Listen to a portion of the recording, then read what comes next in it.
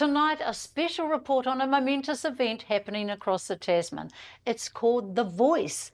No, not that voice. This Voice Australia involves a referendum on October the 14th, our election day. Aussies are being asked to vote yes or no to a change in their constitution that would formally recognise the country's original inhabitants and enshrine an advisory body in Parliament for Aboriginal and Torres Strait Islander people, giving them greater say on issues that affect their lives. Sounds like a no brainer? It's not looking good. In the lead up to the referendum, we travelled to Barunga in the Northern Territory for a historic hui of Aboriginal leaders and their communities.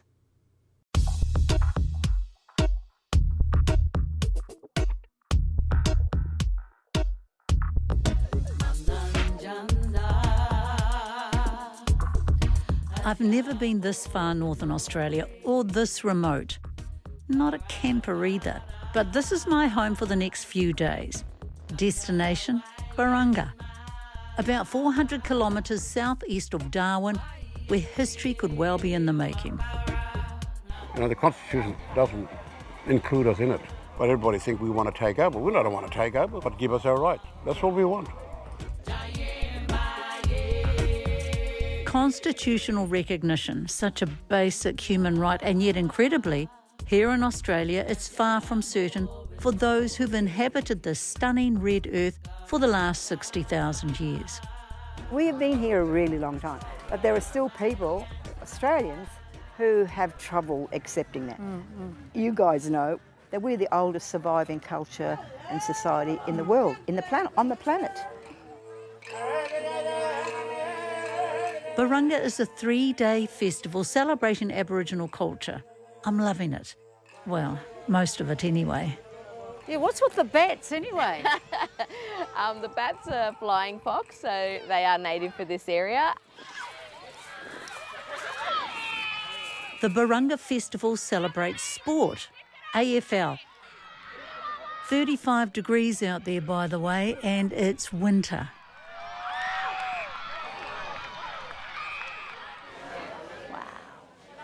Plenty of art and culture, which I am really into.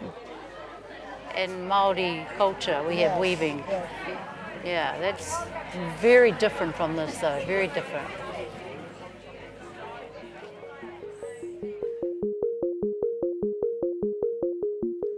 So it's day one for us here at the Barunga Festival and it's a really important hui that's going on at the moment. It's like a iwi leaders hui and one of the key issues is around the voice. They started to do the mihi mihi and then it started to fall apart a little bit. Uh, so they pulled the agenda back and they've kept media out. So we're looking forward to going in there very shortly. Just let them get through there.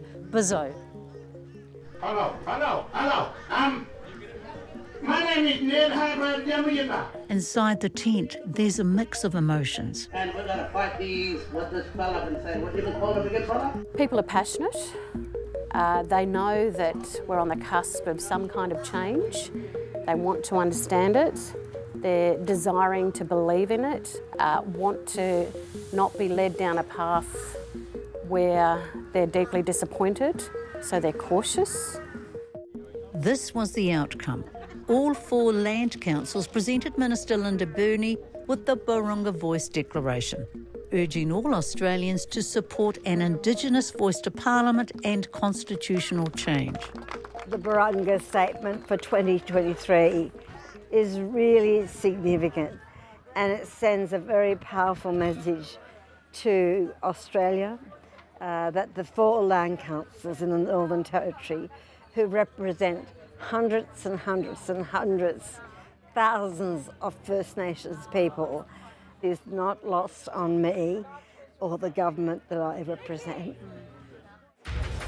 Australians are being asked to alter their constitution so that it recognises the first people of Australia by establishing an Aboriginal and Torres Strait Islander voice to Parliament.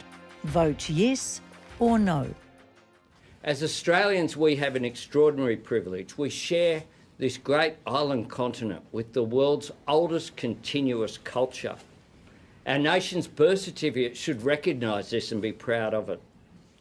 And that government, led by Labor Prime Minister Anthony Albanese, is pushing hard for Australians to vote yes. The question that Australians will be asked at this year's referendum is a very simple one. This is not about symbolism. This is about recognition, something that's far more important. But it's also about making a practical difference, which we have, we have a responsibility to do. Well, interestingly, the Prime Minister says that once we have this referendum and it's successful, people will wonder what the fuss was about. A bit of background here. The Declaration is part of a centuries long resistance against invasion, colonisation, and disempowerment, culminating finally in 2017 with the Uluru Statement of the Heart to address what Indigenous leaders call the torment of our powerlessness. It's about a recognition from the rest of this country of our story, our culture, our history, and it's also about bringing the country together and facing what has been a pretty ugly past.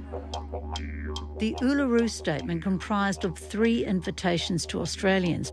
First, a referendum to enshrine the Indigenous voice in the Constitution. Second, to oversee a treaty process between colonial Australians and the traditional owners of the continent because they've never had one. And three, a truth commission to record past injustices towards Indigenous Australians. Mate, we're the First Nation people, we come from here. Treat us with a bit of respect. Exactly 35 years ago, Indigenous leaders from the Northern Territory presented the then Prime Minister with the first Barunga Statement, calling for a treaty and formal recognition of Indigenous people. They're still waiting, and the sense of disrespect, displacement, and injustice runs close to the surface. Hello? That's the Australia that we live in. Yeah. You know, it's not ancient history, this is modern history. It happened now. Just as an example, my mother was taken from her family, as they were doing in that, that time in the 20s and 30s and right up until the 70s, in fact, and incarcerated in Darwin. And it was public policy of the day not to teach her to read and write. Before a constitutional referendum in 1967, Indigenous people were not formally counted as part of Australia's population. We spend our lives generation after generation after generation saying, excuse me, we're here and this is our place, you know, we, we live here. So those people who came and invaded us, they totally rewrote the history for this country. They wrote us out, in fact. It's like they got a, a rubber and rubbed out all of the bits to do with all us. All the black stuff. All the black stuff, mm. exactly. Here in the Northern Territory, Indigenous people suffered the indignity of being designated wards of the state with no rights of citizenship.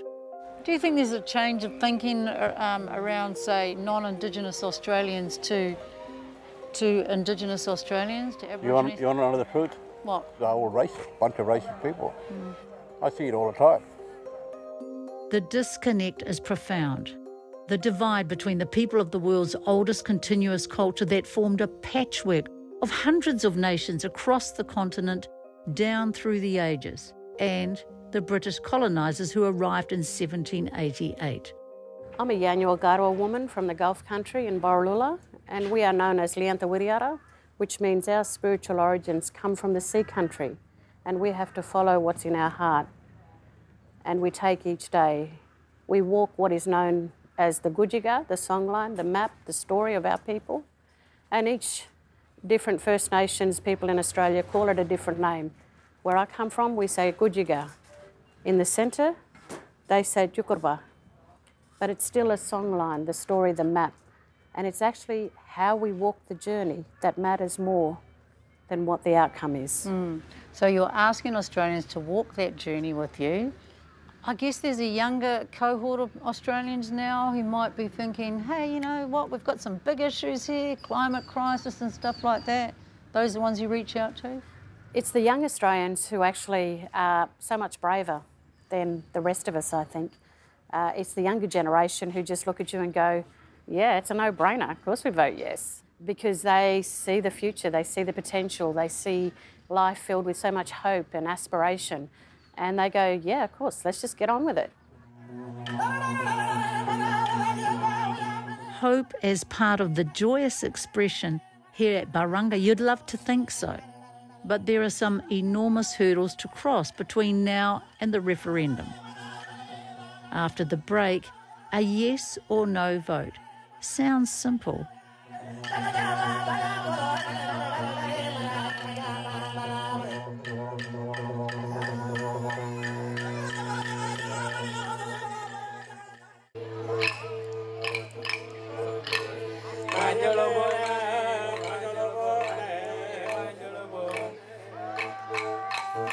Watching the sand flying, it's easy to feel that connection between Tupuna and Papatuanuku too. There's a familiarity about the fact that every dance has a story, and stories are the maps, the song lines, bridging the past to the present.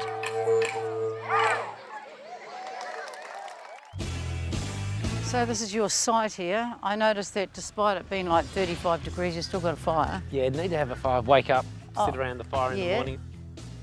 Kyam Maher. He happens to be South Australia's Minister of Aboriginal Affairs and Attorney General. What do you call it? A swag. A swag. He's camping rough, like just about everyone else here. No airs and graces. I'd like to see you get in and out of that. All right, we can Minister, do that. Minister, step up to the challenge. Kyam is spearheading the political push for South Australians to vote yes in the referendum. I'm going to recommend this to some of our ministers at home in New Zealand, see how that go in the Uruwetas or somewhere. Well, uh, it's a ministerial saving. You don't spend a couple hundred bucks on a hotel room. Take this swag out. We've had a process where we've done a lot of consultation in South Australia and earlier this year became the first place in the country to pass legislation to create an Indigenous voice to our state parliament. The ayes have it. The eyes have It It will show people, it will dispel fears about a national body and, uh, and give people comfort in the lead up to a referendum. What was it challenging? I mean, the South Australians sort of like, they embraced it obviously because you got there. Yeah, it, it, it was when we were in opposition before we became a government last year. It was the very first policy we released uh, from opposition that if we were elected, we would implement a South Australian version of the Uluru Statement. So that's voice, treaty, truth. And we were elected, and that's what we got on very quickly, uh, yeah, with a lot of consultation doing. For all that's not working for us here in Aotearoa, we at least have Te Tiriti to fall back on. Indigenous Australians have no treaty. Part of the Uluru Statement includes negotiating one between the traditional owners of Australia and colonial Australians. How many treaties do you imagine will be negotiated? In, in the state of South Australia, there are around about 40 separate nations, 40 separate language groups. 40 separate language groups, and that's just South Australia. Across the whole country, there are more than 250. Overwhelmingly, from our last consultation, it is agreements with individual nations, but whether there's an overarching framework, a sort of a, you know, a perhaps legislated minimum standard set down about you know, what treaty means or looks like totally with, uh, with a series of different agreements. Another key issue in New Zealand is the issue around sovereignty. So, how has that been dealt with in these treaties? It is a really difficult issue, the dual nature of sovereignty in Australia, the, the fact that, you know, uh, that there is the sovereign of the, the, the invading British Crown, but the sovereignty of Aboriginal people and nations never been ceded. It was never given up, it was never surrendered, it was never negotiated. So that, that dual nature of sovereignty that we, we find ourselves at this time and place in Australia with. Is it going to be like uh, multiple treaties in each state and then, then one overarching one in, at federal level? You know, mine, I don't know yet. We're in the really, really early stages of this in Australia. It's, it's very different from New Zealand, where I think for all New Zealanders, yeah, this has been a feature of the system of government. The, the Treaty of Waitangi yeah, is, is a, a, a feature of how people interact in New Zealand. That's never been the case in Australia. But opposition to the voice has been flying thick and fast. The latest News Corp poll shows the voice to Parliament is headed for defeat in every state and territory. What seems to really rile them up is that once written into the Constitution, the First Nations voice can't be removed by any future governments. Look, this is not about recognition. This is about so much more than that. It's essentially a power grab by activists, and my deep concerns about this proposal are first that it will entrench race in our Constitution, second, it will reinforce the separatism which is at the heart of Indigenous disadvantage, and third, it will make our processes of government even more gummed up than they are now. If they change the constitution, it, they're, they're stuck with that for a long time. It's, it's entrenched there and it's very hard to remove. And that makes people very wary of voting for change. Criticism of the voice hasn't just been from white Australia. To me, it's a waste of millions and millions of dollars that could be spent on the ground and working with those communities out there to, to fix the problems. The voice movement is a dangerous attempt to undermine democracy and the fundamental belief of equality between citizens. Senator Price and others have negatively compared the voice to Te Tiriti o Waitangi and are firing warning shots. I don't want to see my family divided along the lines of race because we are a family of human beings, and that's the bottom line. At the other end of the no spectrum, there are Aboriginal leaders who are applying a tino rangatiratanga approach and describe themselves as the progressive no's.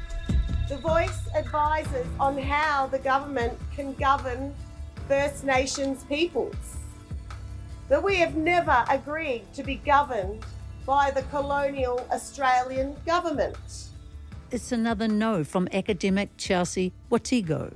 The title of her book, Another Day in the Colony, sums up why. What's been worked upon the minds of blackfellas is this discourse of urgency, as if we haven't been here for 60,000 years. Why is it urgent?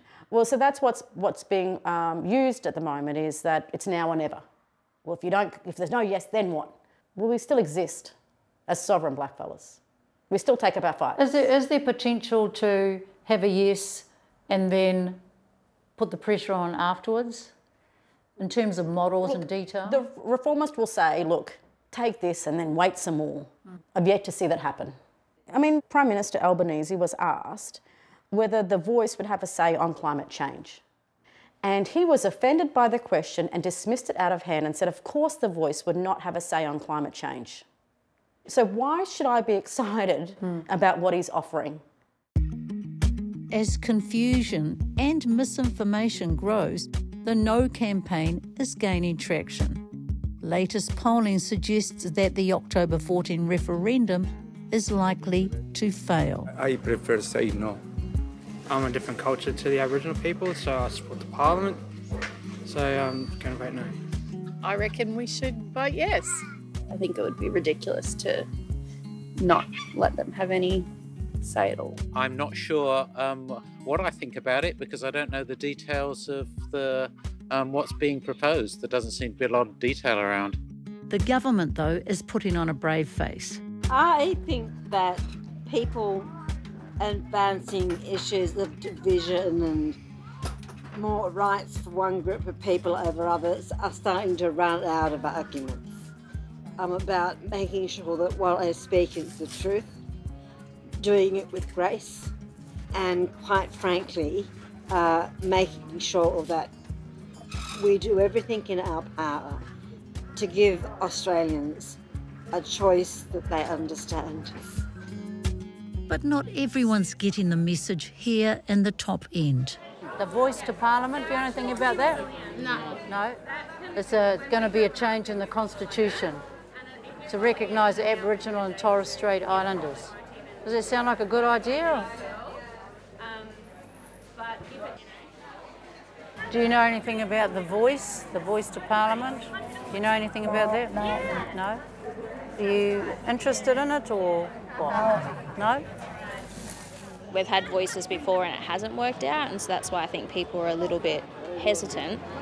But it doesn't mean that we don't need it. We do need this type of enabling infrastructure um, for self determination, as long as, yes, it does have the link between the grassroots and Canberra. The harsh realities of just getting by each day housing, water safety, education, justice these are pressing concerns. Aboriginal communities remain among the most disadvantaged and disempowered in Australia. There's 40% of Territorians who are living in our remote communities and predominantly Aboriginal Territorians in um, that 40%.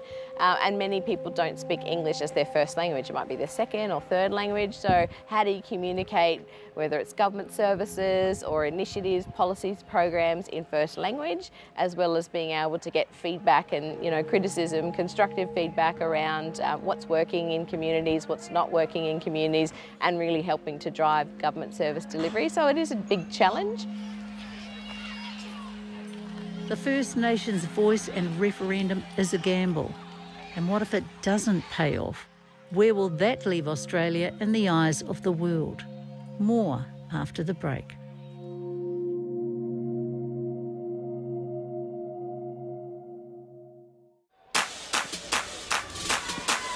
There are so many complexities for someone like me trying to understand where Australians are at with the voice. Take this basketball match in Barunga. Those are US Marines who are supervising.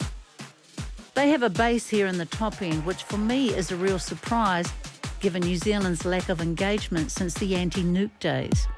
How do the locals feel about the American Marines being in their middle? Because it's kind of a little bit spooky for us. If they were landed in, in my tribal area, we'd be thinking, oh, I don't know about that. Yeah, so the US Marines don't tend to do a lot of um, things outside the community. They're actually here as this festival. I think there was a partnership that was developed, so that's been nice to see there's a bit of community back, not just they come here and they use our country and our land to, you know, do the training and then off they go six months later. So it's kind of interesting to see what kind of um, community outreach our Defence Forces have, as well as the International Defence Force when they do come to the NT.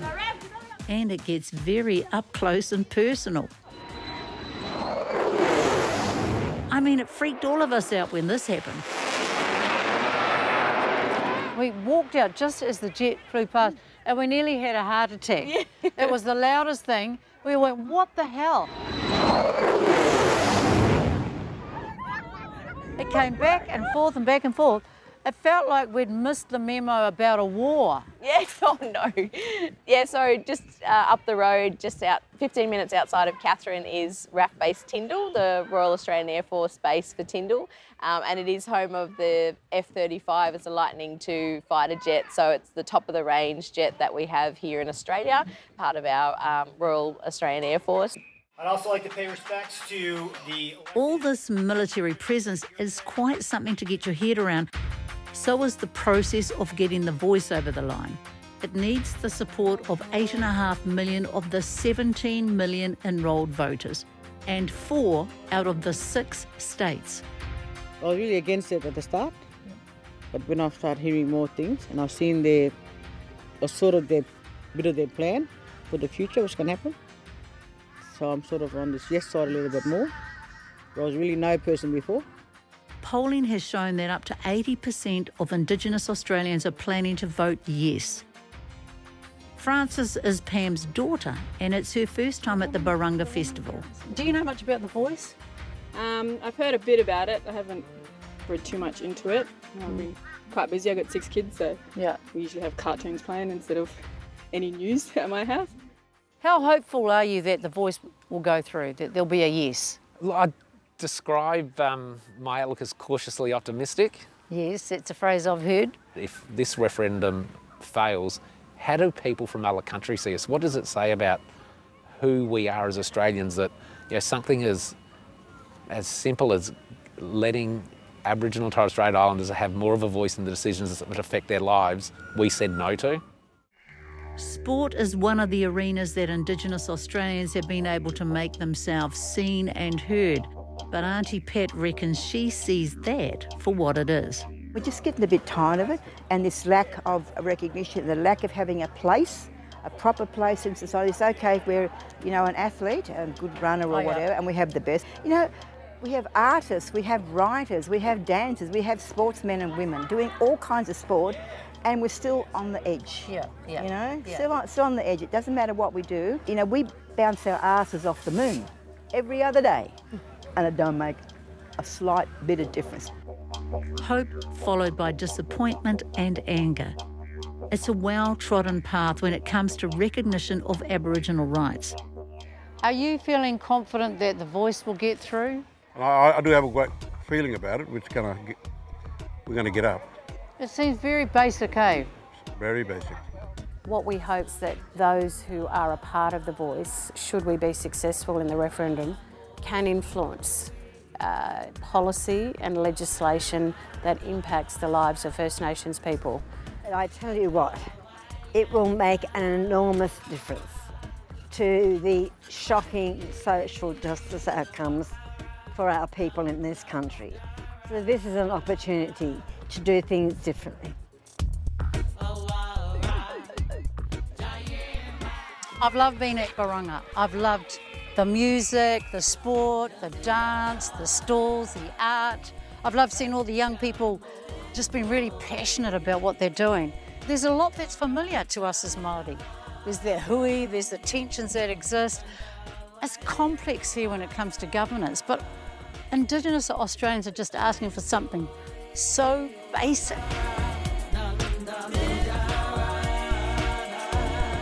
As I drive away, I'm worried. I recognise the inflammatory rhetoric from many leading the No campaign. I can relate to the resistance by those who say Tino Rangatiratanga was never ceded, that the voice isn't about the transfer of power. I feel for those passionately advocating for the voice. And I worry that if the referendum fails, those fault lines exposed to date will descend into deep sadness and bitterness from which Australia will struggle even harder to recover. Lots to reflect on and relate to. All eyes on Australia and Aotearoa on October 14. Pō Mārie.